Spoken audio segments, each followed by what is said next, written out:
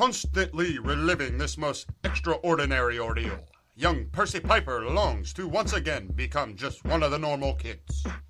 Percy, wake up. Come on, Percy, wake up. You're daydreaming. Oh, wait, come on now. Something's up. Damn it, Percy, wake up. There's a robot on the loose. Now, what can this bag of bolts be up to? Let's hop down here, closer to the action. That rascally robot just plowed right through the bank.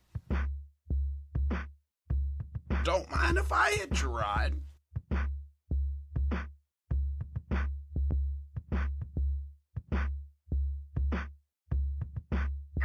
Wobot, we turn at once. Guess we're gonna find out who this maniacal machine belongs to.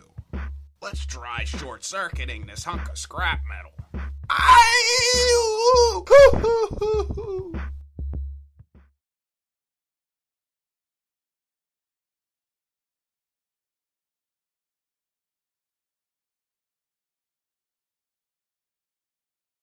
They came from space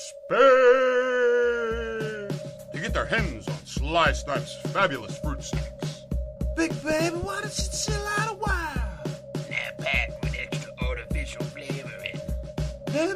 Cry.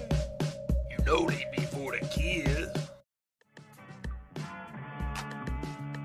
Well, looks like your robot has been reduced to rubble. How dare you destroy my roboticus? All that's left is dealing with you. You're coming with me. I'm guessing even these dummies will know what to do with you.